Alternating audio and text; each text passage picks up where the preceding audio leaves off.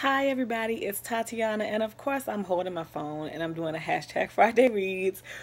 For today, this is the second video that I am recording on my new iPhone and can I tell y'all this is a completely different experience. Whoa. like I don't know if it's good or bad. I kind of feel like if you watch um, Family Guy the episode where their local news station converts to HD and there's this hot uh, reporter that all of the guys are obsessed with. So they Peter goes out and he gets this HD TV so that it will be compatible with the new HD format for the news station.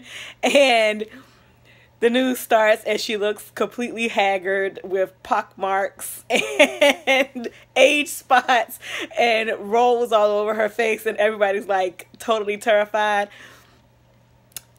I am I feel like I have a haggard video sense or video self, I don't know. Now that I have this completely different uh camera alternative in front of me. It is literally like night and day. And even watching some of my old videos on this phone are like night and day with the boxes that are on the side. So yeah, I'm going to try and get used to this because it is a great avenue to use as opposed to buying another camera since I've already bought the phone.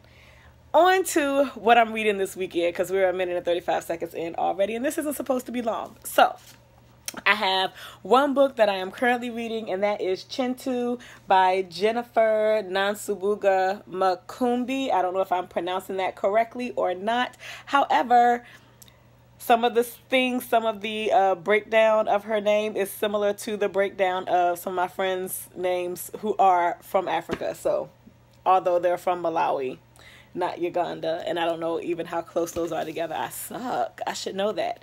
So that is the book that I am currently reading. If by chance I finish reading that this weekend, I have two other library books. Kintu is also a library book but I have two other library books that I really want to get to, so I'm going to show you what those are, and I will pick from one of the two of these this weekend. One is The Seven Husbands of Evelyn Hugo by Taylor Jenkins Reid. I've heard nothing but good things about this. And then the other is Now I Rise by Kiersten White. This is the sequel to And I Darken.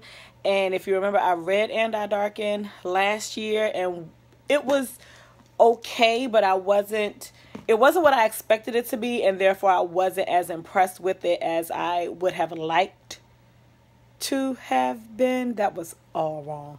Anyway, I still wanted to check because the way that it ended sounded like it the series might pick up in book two. So we'll see how this sequel goes. But that is all that I have on plans to read for this weekend. I'm a little disappointed because it's super duper bright outside and it's supposed to rain. Like it was supposed to rain all weekend and now it's saying that Sunday it's going to be like partly cloudy with no rain. I love inclement weather. I was looking forward to a pour down weekend where it was just going to be a hard summer rain. I can't have winter. Can I have some rain?